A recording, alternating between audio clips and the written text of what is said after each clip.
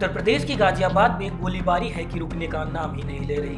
ताज़ा मामला गाजियाबाद के थाना साहिबाबाद का है, जहाँ भोजपुरा इलाके में ई रिक्शा चालक को अज्ञात लोगों ने गोली मार दी, जिसे अस्पताल में भर्ती कराया गया है। गाजियाबाद के थाना साहिबाबाद क्षेत्र में कल हुई घटना में परिजनों की तहरीर के आधार पर कार्यवाही की जा रही है। पुलिस की टीमों द्वारा सीसीटीवी कैमरों के माध्यम से घटना में प्रयुक्त गाड़ी की पहचान कर अपराधियों को चिन्हित कर लिया गया था। जिसके आधार पर अभियुक्त नितिन, पुत्र महिपाल सिंह, निवासी अफजलपुर और योगेश, पुत्र पवन कुमार, निवासी अफजलपुर को गिरफ़्तार कर लिया गया है। तो वहीं सीओ केशव प्रसाद ने बताया कि अब तक की जाँच से घटना का कारण रोडरेज के कारण हुआ झगड़ा पाया गया है।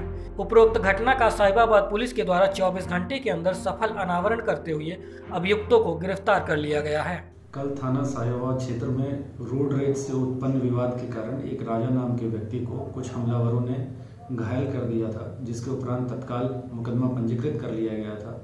घटना के अनावरण हेतु एसएसपी सर के द्वारा कई टीमें लगा दी गई थी, जिसमें सीसीटीवी फुटेज खंगालने के बाद गाड़ी तस्दीक कर ली गई थी और थाना साहिबाबाद पुलिस के द्वारा 24 घंटे के अंदर घटना के वांछित अभियुक्तों को गिरफ़्तार कर लिया गया है, जिनके नाम हैं नितिन पुत्र महिपाल सिंह और योगेश पुत्र पवन कुमार। इन दोनों को गिरफ़्तार कर अग्रिम कानूनी कार्रवाई की जा रही है।